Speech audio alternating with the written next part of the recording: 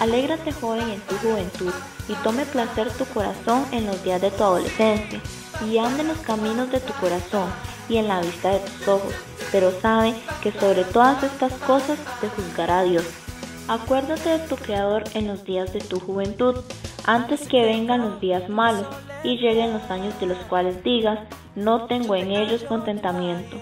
Por esta razón, queremos darle a los jóvenes y hermanos que nos acompañan hoy la bienvenida a nuestra conferencia, Fusión Juvenil 2010, una actividad que nació hace algunos meses en el corazón de varios líderes, con la visión de unir a los jóvenes para fortalecer los lazos de amistad y compartir la enseñanza de la palabra de nuestro Señor Jesucristo.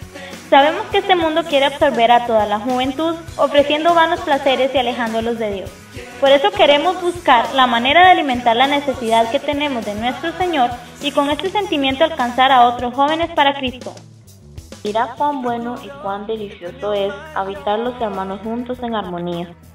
Esta es la conferencia Fusión Juvenil 2010. Comenzamos. dejo